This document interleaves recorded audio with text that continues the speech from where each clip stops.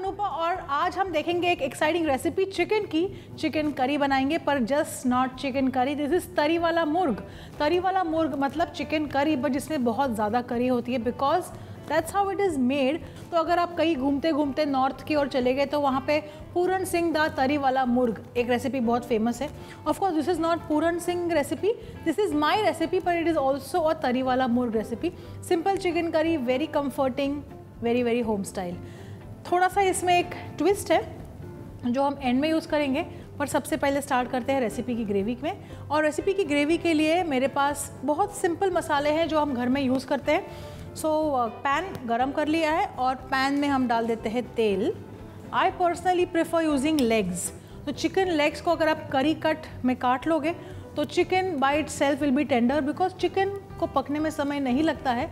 But I feel अगर chicken legs आप use करो तो ग्रेवी लेग्स के अंदर भी अच्छी तरह से पेनिट्रेट होती है और it becomes nice and juicy in exactly how you want your chicken curry to be so तेल गरम कर लिया है हमने इस तरह से और इसमें हम डालेंगे थोड़े होल स्पाइसेस तेल गरम हो गया है और इसमें हम डालेंगे बेलीफ हरी इलायची, बड़ी इलायची और सिनेमन एक और चीज़ डालेंगे जीरा.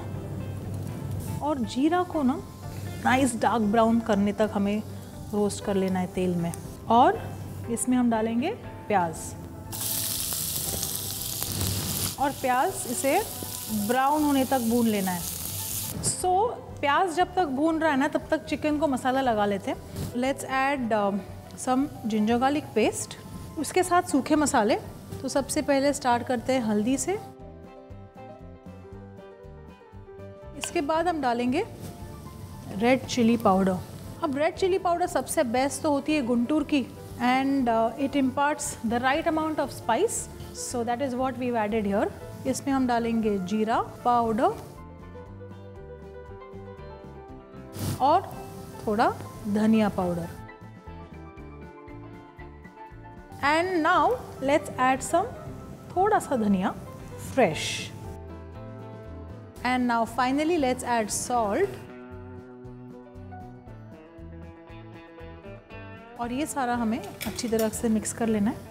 चिकन के लेग्स जो होते हैं, इसे पकने में समय लगता है, पर chicken legs are much better when it comes to making chicken curry अगर कोई स्टव फ्राई करना हो तो चिकन बोनलेस यूज़ कीजिए चिकन ब्रेस्ट बोनलेस और करीज अगर यूज़ करनी हो तो try and use chicken legs तो चिकन मैरिनेट कर लिया है, प्याज भी जो है ब्राउन हो चुका है। Let's add some paste to this some ginger garlic paste और स्पाइस के लिए इसमें हम डालेंगे थोड़ी हरी मिर्च।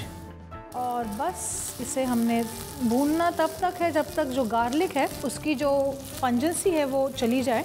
और क्या होता है कि गार्लिक जब आप तेल में भून लेते हो तो एकदम से एक स्ट्रॉन्ग फ्लेवर आ जाता है या स्मेल आ जाती है। बस वो एक बार चली जाए, इसका मतलब ये है कि प्याज, लहसुन, अदरक ये सब कुछ पक चुका है।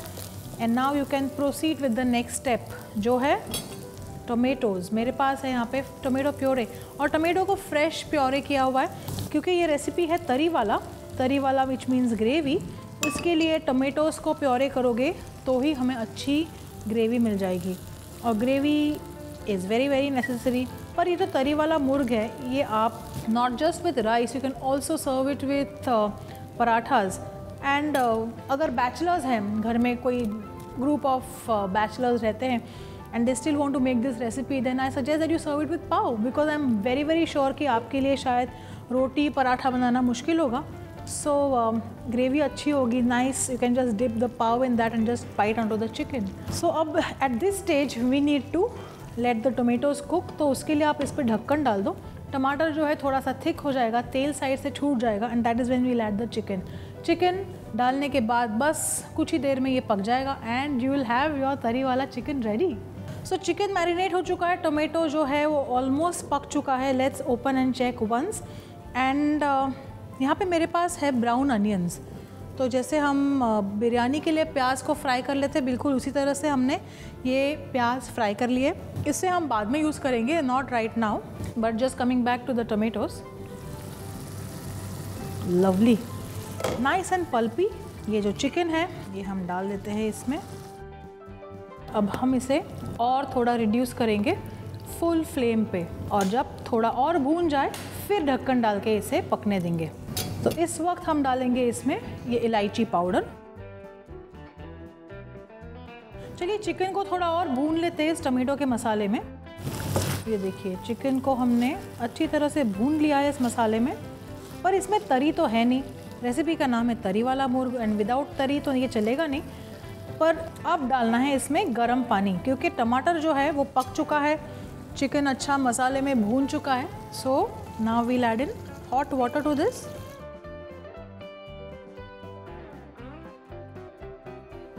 और अब हम इसे पकने देंगे। तब तक कि चिकन अच्छी तरह से गल जाए, क्योंकि ग्रेवी जो है वो पूरी तरह से पक चुकी है। और at this stage now we will cover it and let the chicken go tender chicken पक जाएगा।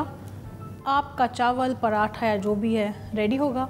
आपको करना क्या है? कुछ नहीं थोड़ा सा ब्राउन अनियन ऊपर से आपको स्प्रिंकल करना है and you are good to go गरम गरम मुर्ग तरी वाला आप बनाइए घर पे। On any given day beat a Sunday Monday Tuesday, and I'm sure you are definitely going to love this because it's simple and utterly delicious. Follow this recipe exactly or I'm sure आपको ढेर सारे compliments मिलेंगे. So I hope you enjoyed watching the video as much as I enjoyed making it for you. अगली बार के लिए I'm coming back with some rocking recipes. So till then keep watching Sanjeev Kapoor Khazana and don't forget to like, share and subscribe.